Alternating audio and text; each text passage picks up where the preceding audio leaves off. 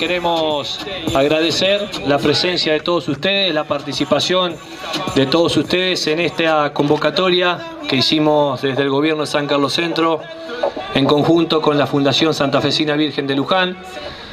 Una actividad que se venía desarrollando de manera continua eh, y de manera ininterrumpida hasta el año 2020 por motivos que todos conocemos. Y bueno, este año, después de de este parate obligado. Eh, estamos nuevamente llevando adelante esta actividad que nos reúne como comunidad, que nos convoca como comunidad para un fin muy bueno, un fin muy loable que es el apoyo hacia una de las instituciones que permanentemente ha trabajado desde sus inicios. Justamente en este mes de octubre están cumpliendo 25 años de la fundación, justamente, y valga la redundancia, de la sede de la Fundación Santa Fecina Virgen de Luján, para lo cual pido un fuerte aplauso. Desde el inicio de la fundación, permanentemente el municipio ha estado apoyando, colaborando en todas y en cada una de las acciones o de las necesidades que tenía eh, dicha sede y dicha institución.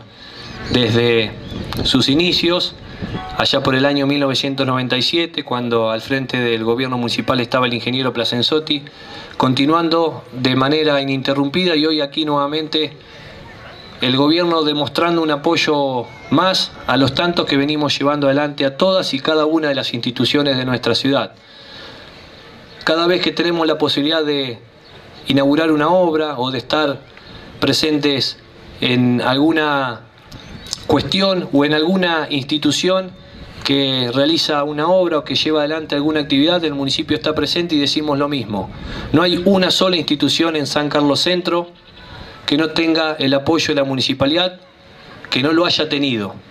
Y eso es algo que destacamos constantemente porque el trabajo mancomunado entre gobierno municipal e instituciones es fuerte, es cada vez más grande, va a seguir siendo de esta manera y eso va a hacer que nuestra ciudad crezca a la misma manera que crecen las instituciones. Así que la verdad que estamos muy satisfechos, muy contentos por esta convocatoria.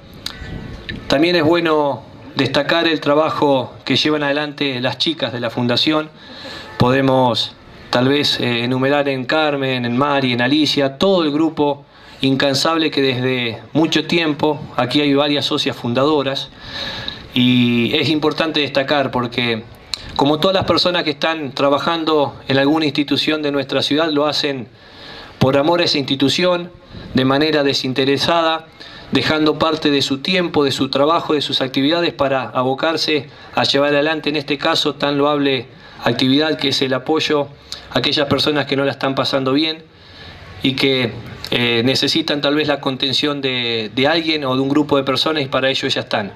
También es importante destacar que durante todo este mes de octubre el arco de ingreso en nuestra ciudad estuvo iluminado de color rosa. Todos sabemos que octubre es el mes de lucha contra el cáncer de mama, que es uno de los tantos cánceres, por decirlo de alguna manera, que nos aquejan a, todos los seres humanos.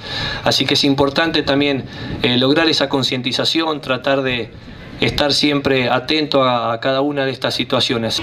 Podemos informar que de la caminata del día de hoy han participado 653 personas, lo cual hace un aporte del municipio en nombre de la comunidad a la Fundación Santa Fecina Virgen de Luján de 391.800 pesos.